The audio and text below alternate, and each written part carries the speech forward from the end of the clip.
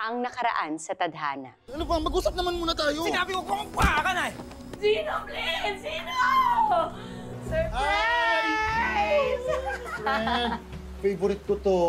Sanggang dikit ang mag-BFF na si Glyza at Paul dahil parehong may mga issue sa kanilang pamilya. Naging sandigan na nila sa buhay ang isa't isa. Mas pipiliin ko na lang matulog sa bangketa kaysa magkaroon ako ng utang sa tao. Mas malaki pa yung utang sa akin. Pero isang revelasyon ang wawasak sa dalawa. Yun ay nung malaman ni Glyza na ang boyfriend ng BFF niyang si Paul ay ang mismong tatay niya na nang iwan sa kanya noon. Mga bakla! Ang mga wala niya mo! Mapapatawad pa kaya ni Glyza ang dalawa? Sundan natin sa part 2 ng Tadhana.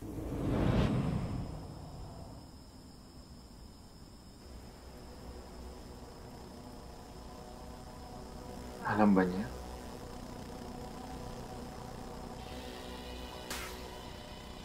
Don't worry. Hindi niya alam.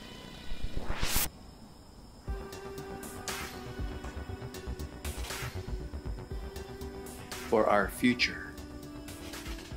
For our future.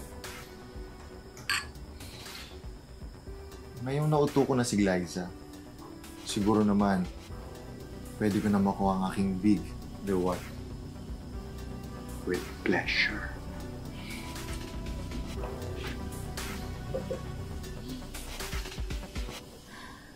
Ay, mga manlaloko kayo! Parehas kayo traidor! Mga manlaloko! Mga manlaloko!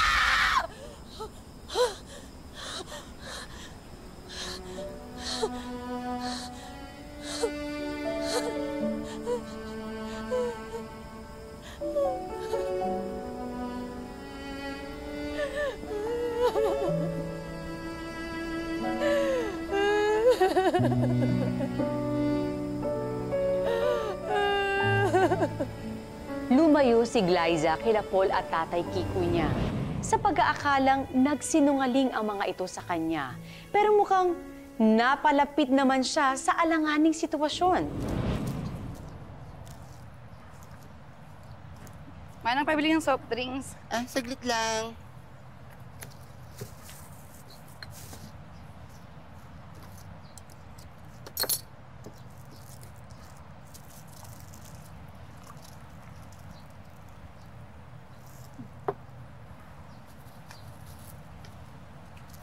Saan? Salamat. Sa Clemis. Manang para ko ng sukli nyo. Anong kulang? Ayun na. Sakto yan, bilangin mo. Ayun na, limang piso lang mabilangin nyo. Kulang. Ako ba, miss, pinagloloko mo? Tingnan mabuti, baka nalaglag mo dyan. Hindi nalaglag, miss. Kung ako sa'yo, ibalik mo na yung sukli ko dahil kulang to. Bilangin mo, limang piso lang to. Hoy, miss, umalis ka na nga kung nanggugulo ka rito. Ang aga Ano ba pinagloloko nyo, Manang, ha? Ibalik nyo na yung sukli ko dahil kailangan ko to. Hindi ko makita. Dito. Dito lang yun. Hindi yun makakalayo, walang pera yun.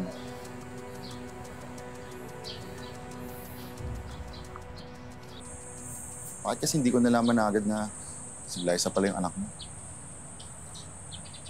Paano ko naman sasabihin sa'yo eh, up until last week, you were a total stranger. We just had our first date. Our first night together. Alam mo, Kiko, pinapansin ko sa'yo, ang dami mong tinatago. Ang dami mong hindi sinasabi. Itutuloy natin tong relationship na to. Sana naman maging open ka, di ba? Para kung manghuhula kung iiwan mo ba ako, hindi eh. Kung tutuloy natin, Umalis ka na nga. Ito bilangin mo. Ako bahala. Ayaw mo ibigay? Ayaw mo ibigay, ha? Ano? Ikaw, ayaw mo ibigay. Ano na Ayaw mo. Paul, I think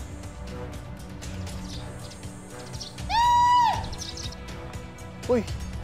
Liza! Ano yan? Ano ba? Miss! Ano inaayos? Ano ba? Miss, tumigigas! Ako! Ay! Ay! May may tumigigas! Ay!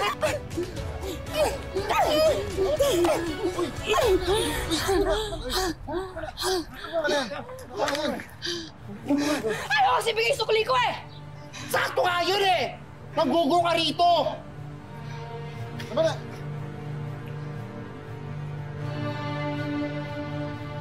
Halika nga dito. Ano ba? Bitawan dito. nga ako, Paul! Ano, Liza, ano ba? I'm sorry pero kailangan kong gawin to. Nakita mo ba yung mga inaway mo doon? Eh, ano sa'yo ngayon? Kukuyugin ka ng mga mahaderang tindera na yon. Alam mo ba yon, ha? Presinto o kuyog? Yun lang ang choice mo. Buti yan talaga, dumating kami. Tama na yan. So ano? Nang dahil sa nangyari sa tingin nyo, titira ako dito, ha? Sa tingin ko, kailangan mo tumira dito kasi wala ka ng choice. Ito na yun. Ito na yung solusyon, Glyza. Wala nang iba pa. Okay, fine! Fine! Sige na! Sige na! Pero hindi ibig sabihin nun, makikisama ako sa inyong dalawa. Hanggang hindi ko pa nakakalimutan yung panloloko niyo sa akin. Huwag kang mag-alala. Sige ko lang yung kailangan mo pakisamahan. Kasi hindi mo na rin ako makikita dito. Paul. Paul. Paul. Kiko, I'm sorry. Pero hindi ko kailangan ng isa na namang lalaki na nagadalawang isip kung mag-stable siya sa buhay ko. Hindi. Mapag-uusapan natin ito. Okay lang. Gets ko na. Kasi kung masasaktan lang din ako. Kiko, mabuti na yung ganito. Nalilito, ano ba ito? Bakit di na lang tayo? Paul, wait. Paul. Paul. Paul. Come back.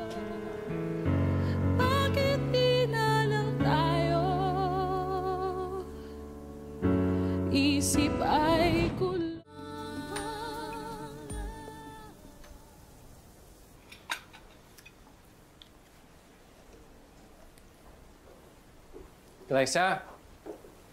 Glyza. Ikakain na tayo. Sabayan mo na ako. Busog pa ako. Glyza, sige na. Alam ko, kagabi ka pa hindi kumakain. Baka kung ano na mangyari sa'yo. Halika na, sabayan mo na ako. Halika na.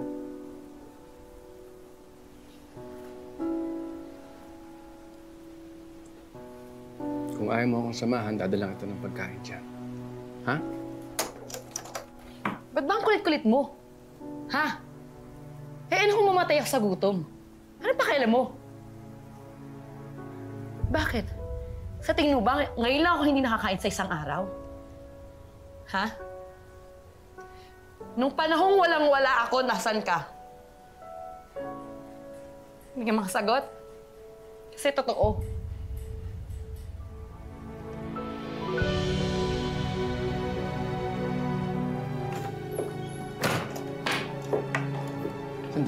Nagagalit ka ba sa akin dahil nalaman mo bakla ako? Nabading ako? Nandidiri ka ba sa akin kaya ano ako sa mga kumain? Alam mo, wala naman akong pakialam kahit sino imbitahin mo, dalhin mo sa kwarto mo. Oo, sige. Aaminin ko. Nasyak ako nung nalaman ko yung buong pagkatao mo. Pero wala naman kasing kaso sa akin yun eh. Hindi ako galit kasi bading kayo. Galit ako kasi iniwanan mo ako. Iniwanan mo ako. Sana kung sinabi mo yun nung bata pa lang ako, may intindihan ko eh. Pero ngayon, yung basta-basta mo na lang ang pag-iwan yung hindi ka maintindihan.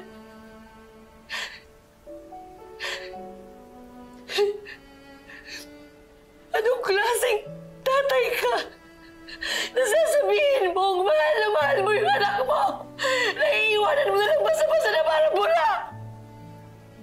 Sabihin mo sa akin! Kasi yun hindi ko maintindihan! Yun hindi ko maintindihan! Dahil akala ko Akala ko mas masakit para sa inyo na malaman badig ako. Kaysa mawala ako sa buhay ninyo. Yun ang unang pagkakamali ko. Iniwan kita. Iniwanan ko kayo. At hanggang ngayon, babayaan ako pa rin yung pagkakamali ko. At alam ko hanggang pati ngayon, pati ikaw nadamay sa pagkakamali ko yun. I'm sorry. I'm so sorry, anak. I'm so sorry. I'm sorry, please. Please, patawarin mo ako, please. Please, love. Hindi ko na gustong iwan, anak. Hindi ko na gustong iwan. So sorry.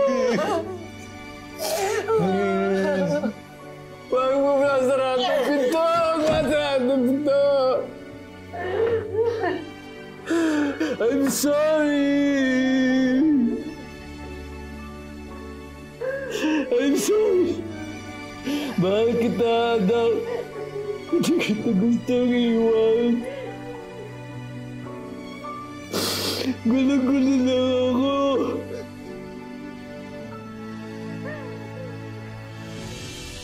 I'm sorry.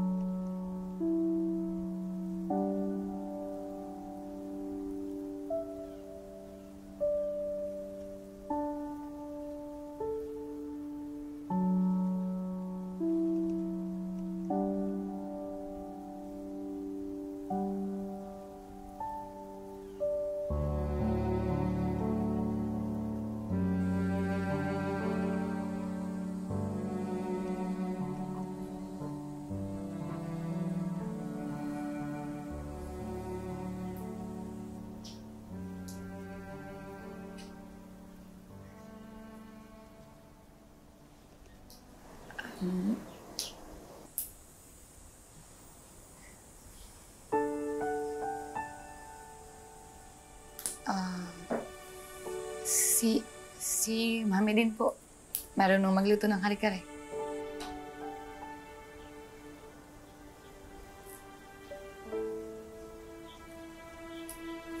Actually, ako nagturo sa kanya magluto. Kaya pala nung nawala ka, hindi na rin siya nagluto. Ah, nalaman po ba ni Mami yung kung ano ka talaga?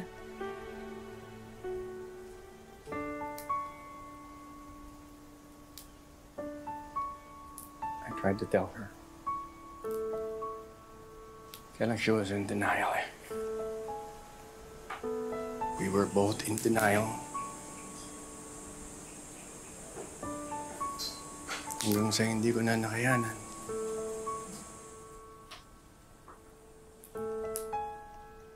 Sana lang maintindihan mo kung bakit.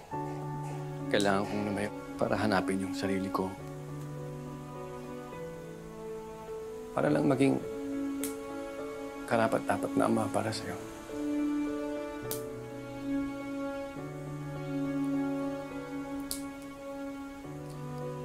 Sana lang. Ngayon, matanggap mo na ako bilang bilang daddy mo.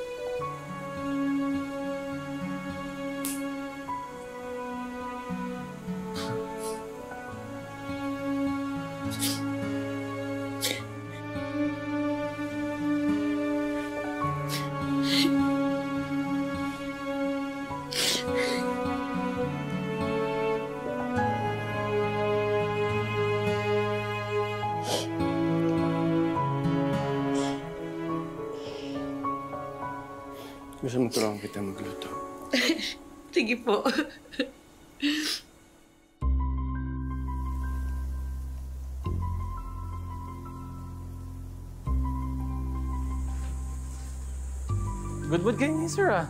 Bira ko kayong nakikita maangiti. Bagay sa inyo, gumagawa po kayo lalo. So naman, bibigyan naman kita ng tip eh, ng bola ka pa. Magkano yung sunflower? 1.5 na lang sir. Dalawa niyan. Para kay Mrs. sir. Ah, sa anak ko. Fine. Thank you sir. Salamat din.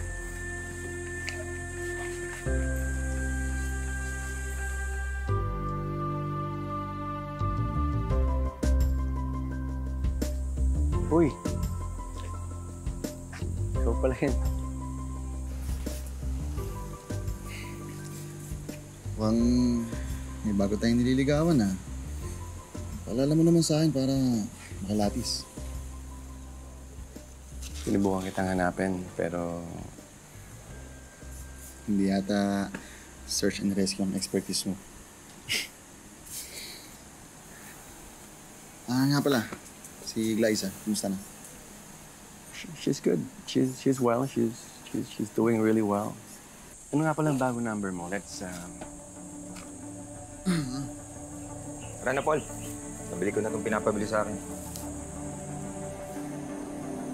Ah, oo. Nagkabalikan kami. Siya ba si...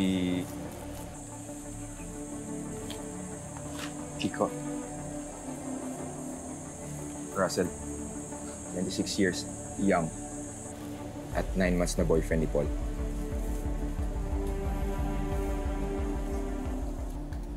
Kita kami ni Paul kanina. So, nag-date po kayo? Hindi ko alam na may communication pa pala kayo, Dad. Nagkasalubong lang kami. Oh, kamusta na daw siya? Nakakamiss din pala yung mukong na yun, no? He looks good. Gwapo pa rin, Dad, no? Pero nagkabalikan na sila eh. Nakabalikan? Ay, no. Yung Russell. Ni Russell? Nung heartbreak na yon? Sorry. Excuse me. Ipahangil lang ako. Sige po.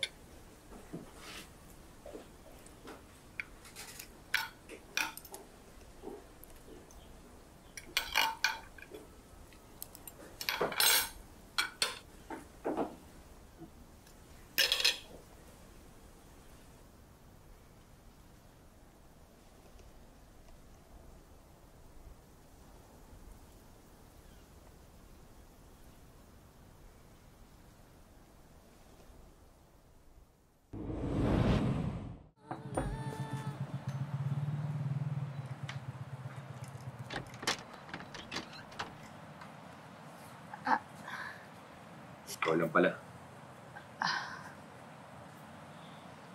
Si Paul. Paul! Yung jowa mo, sinusundo ka na. Ano? Sino?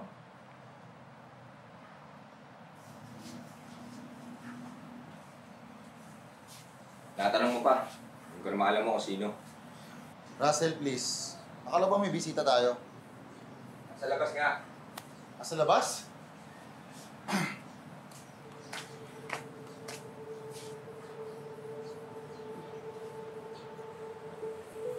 Hi.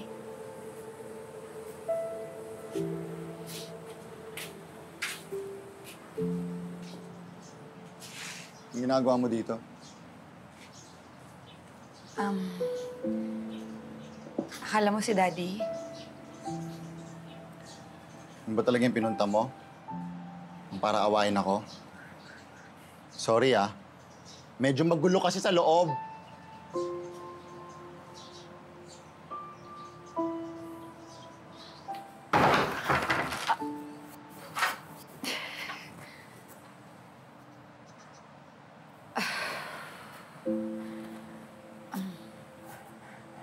Wala rin palang pinagbago tong lugar na to, no? Mga tao lang naman yung nagbabago eh. Imagine, dito pa rin pala kita makikita. Um, Paul, nag-aalala kasi ako sa'yo eh. Paul, bakit? Bakit? Ba bakit ka bumalik?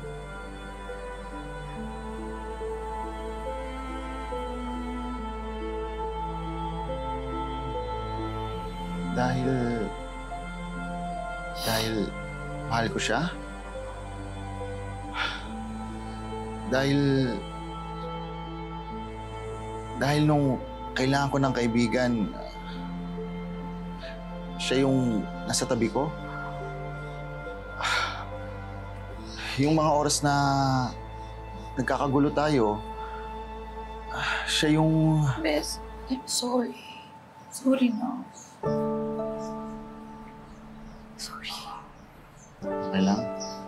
Tapos na yan? Hindi, Bes. Kasi yung mga panahon na yun, dapat tayo yung magkakampi. Dapat ako yung kasama mo. Kaso kasi, Bes, ako yung bumitaw. Pero bumitaw rin naman ako. Nalito ako kung sino yung kakampihan ko sa inyong dalawa.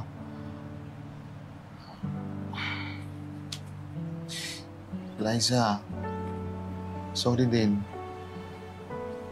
Sorry sa gulong nagawa ko sa pamilya mo. Bes, pamilya rin naman kita eh. Hindi ko dapat nakakalimutan yun. Alam mo, Bes, yung promise ko sa'yo, kahit, kahit saan ka magpunta, kahit anong mangyari, kahit saan party ng mundo, Bes, andito lang ako palagi para sa'yo. Ha?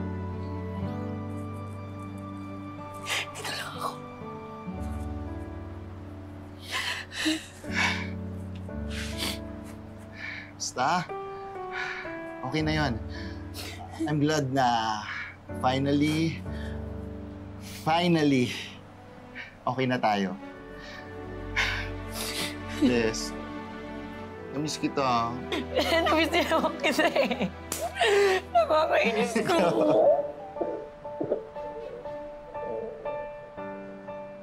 Sa wakas, nagkaayos na rin ang magkaibigan. Minsan, kahit nagkalamat na, ay pwede pa rin mabuo kung bubuksan ang puso sa pagpapatawad at pagmamahal.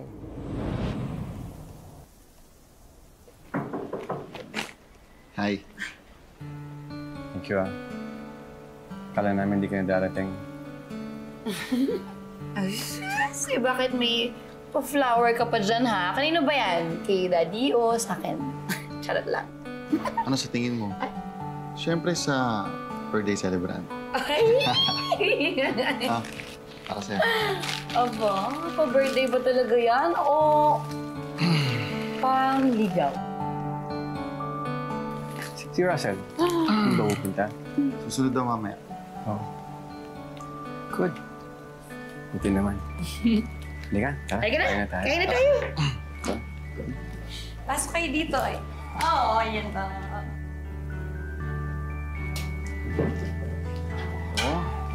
Oh, ayan. Naming handa na naman, syempre.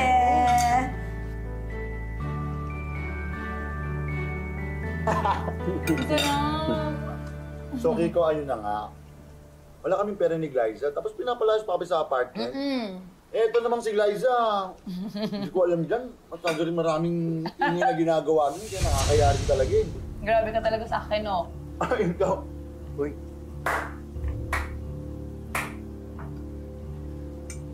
Galing talaga magkwento ng boyfriend ko, no? Russell, hindi namin nakita na dyan ka. Sorry, ah. Halika, kain na tayo. No. Okay lang. Just watching you guys. One big happy family. Ah, Russell, medyo marami ka natang nainom eh. Tara na. Ah, guys, sorry ah, medyo mauna na kami. Eh. Dito lang tayo. Dito ka lang. Saya-saya mo dito, di ba? Lalo na kasama tong matandang to. Nahihina nga sa kilig eh. Ano ba meron sa matanda to? Dahil mas magaling sa kama? Russell, tara na.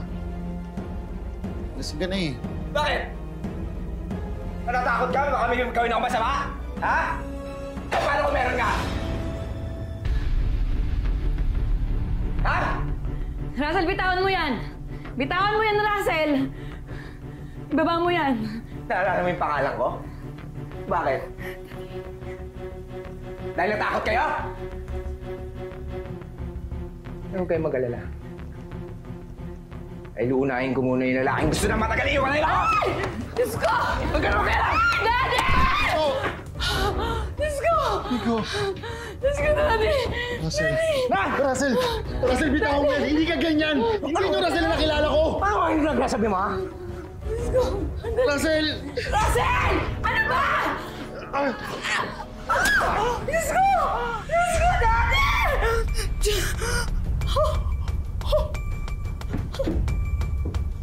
Kiko? Daddy! Daddy! Daddy! Diyos ko po! Kiko! Ano ko nga muna Kiko! ka? Daddy! Diyos ko! Kiko! Daddy! Pwede ba ako kaya tulong? Tawag na ambulansya! Diyos ko, Daddy! Daddy! Ayan ang Domi! Ah, oh, sige. Well, I'll be the judge of that. Isa lang ang pwedeng humusga sa luto ng anak ko. At ako yun. O, diba? Grabe, no? Kapag tumatanda na talaga, nagiging bitter. Grabe ka! Pero, I'm not going to deny, ah. May asim pa rin ang love ko. Oh? Aww. Kanina bitter, ngayon maasim. Sige nga. Patikim nga. Alam mo na. Wait lang, Dad. Ako na maghahain para sa iyo. Ang Bango ah. Di ba, Daddy? Ah, natin. Alamang? Alamang, yes. Yes. Ah. Na alamang. Hmm. Ito na. Go, Daddy. Daddy. Ay! Oh my God. Ito na. Bumabahan ka na. Ito na.